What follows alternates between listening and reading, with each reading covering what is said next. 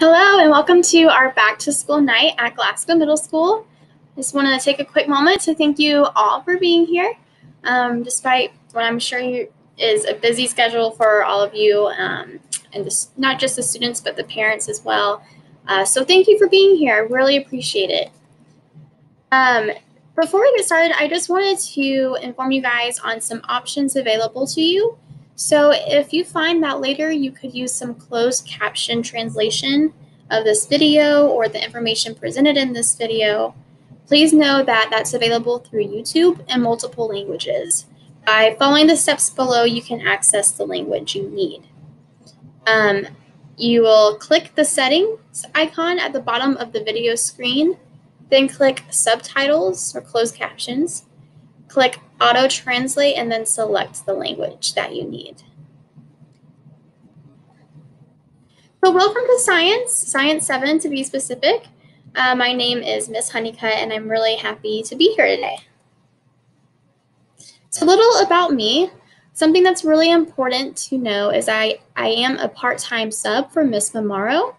Um, I will be here for the entirety of the semester. Um, she will be coming back in December.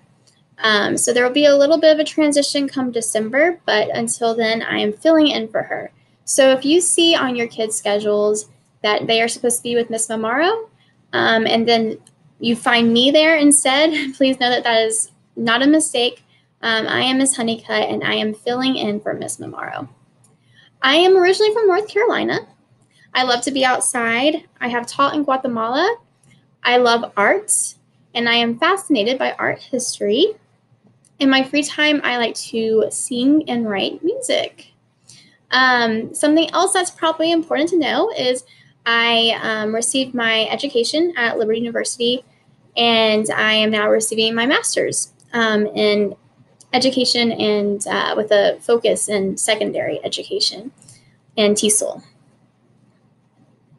Summarize a few things that I believe to be true about the way that students learn best and the things that they need to do in order to be successful in the classroom.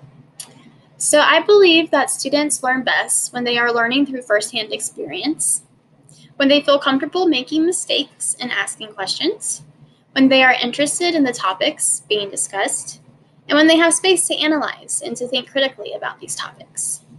These are all values that I hold very dearly and things that I actively try to incorporate into teaching, even virtually, I know a lot of you might be asking, how do they learn through firsthand experience virtually? Um, the science team is very proactive in trying to incorporate experiments and live experiments. Um, and something I'm really excited about this coming up semester is having students do these experiments in their own home. Of course, it will be completely safe. None of the um, chemicals or anything we'll be using will be harmful, and they will all be things accessible to everyone. Um, we'll make sure that they are accessible before putting any experiments together. Um, but um, that I am really excited to be able to share in this experiential learning with, with our students. Um, in order to be successful, students will need to attend and participate in online activities. Um, they'll need to participate in class discussion by turning on their mics and discussing in groups. They will need to complete the classwork. And of course, contact me if they have any questions or if they need help. So one of the things that we really want to advocate for, not just for the sake of learning, but for the sake of building community in our classrooms, is that students are turning their microphones on. This helps them grow to know each other better. Um, it helps them know who they will work well with in coming up projects and group projects. Um, so if you guys, the adults, can help us advocate for students to use their microphones and maybe even their video if you get really crazy. That'd be awesome. Um, that is not required. However we really want to push for students to use their microphones this year. The chat box is a very easy feature to use um, but i just i we really believe that it's going to help build at least a similar sense of classroom community that they would get inside of an actual classroom Curriculum. So these are what our units are going to look like this year. We're going to have five different units um, this semester, rather. Um, first unit is going to be on ecosystems. Then we're going to go over natural selection and adaptions, genetics, cells, and then classification. Just a quick summary on the grading and assessments. We have a few different types of assessments. The first is a formative.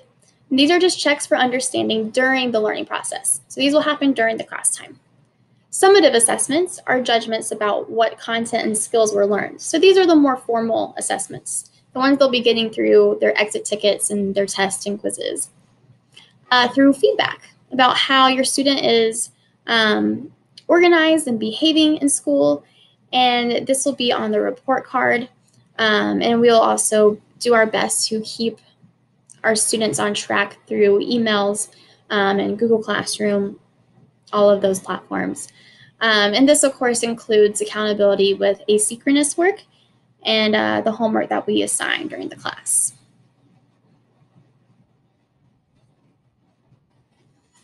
Teacher support. Um, so the uh, assignments, like asynchronous work, um, as well as the grids for the week, and looking forward, all the information you're going to need will be available on Blackboard 24 7 and on Google Classroom. Uh, you should also know that I have available office hours on Mondays from 7:30 to 8:30, and then and um, on Wednesdays after school, I'm also available from 2:30 to 3:30. Um, so my office hours will be posted on both Google Classroom and Blackboard, along with the syllabus, the con- my contact information, my email, um, and of course the grid, um, explaining what we're looking forward to for the week. Google Classroom will have many of the same resources available. Um, and if you have any questions about either one of these platforms and how to access them, please feel free to email me at either one of these emails below. Um, I am more likely to, I like to try to keep my parents' emails and student emails separate.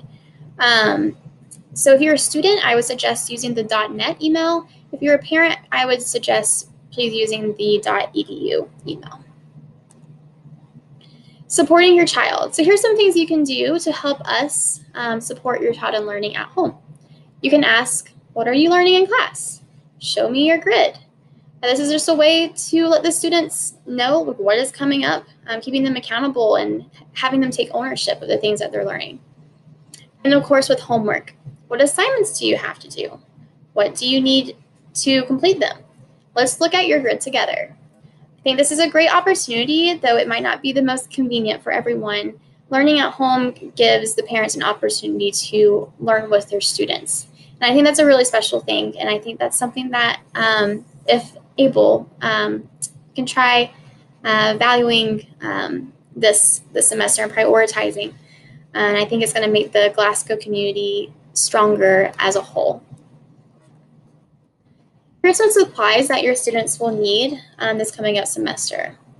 One's pens and pencils, uh, the Glasgow Middle School agenda, paper notebook to jot down ideas or notes, and then of course an FCPS um, computer. Um, if you have any issues with your computer, you can contact the, um, the IT office and you can find their information on our website. We're looking forward to a great year. Thank you guys so much for tuning in. Thank you for being here. And we are so excited to learn and grow together.